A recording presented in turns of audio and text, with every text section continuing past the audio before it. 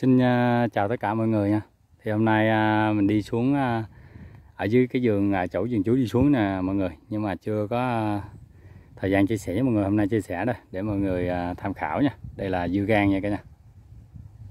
Miếng này chắc khoảng tầm 3 xào nha mọi người. 3 xào dưa gan. Thì ở đây là bên kia thì như mấy video chia sẻ với dưa leo, dưa hấu nha cả nhà. Thì bên này là có dưa gan luôn ở dưa gan trồng luống vậy này cũng à, âm à, dây tưới bên trong luôn nha. Cũng âm hết dây tưới bên trong. Có trái rồi nha cả nhà. Dạ. Đó.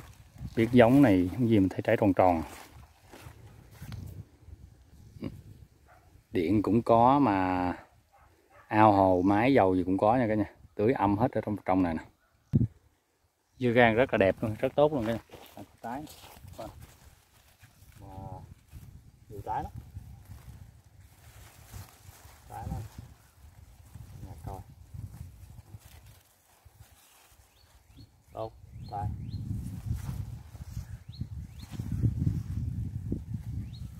trái nó nằm xíp xíp xíp xíp xíp ở trên này.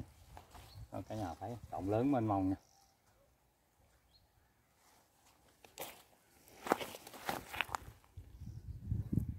Đây nè mọi người. Trái này hồi nào à, ở trên à, trảnh mình cũng có trồng một gói dưa gan để ăn nha, mà cái trái nó dài, nó to lắm, mọi người. Trái nó à, tròn, to mà nè, ở cái bề bề to mà mà dài vậy 40 50 luôn á. mà giống dưa gan này thì mình thấy trái tròn tròn nhỏ nhỏ nha, không biết giống gì nè ông chú ông đi về rồi, có để hỏi, để mai mốt lớn thì chia sẻ thử coi nó là sao nha, nó lớn cỡ nào nha. Chắc cái này chắc nó không có lớn mấy đâu quá trời trái con này mọi người. Đó. Cái mô hình trồng dưa gan.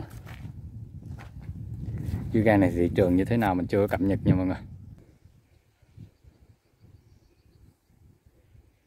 Đều lắm, đẹp. Linh kính hết đất rồi.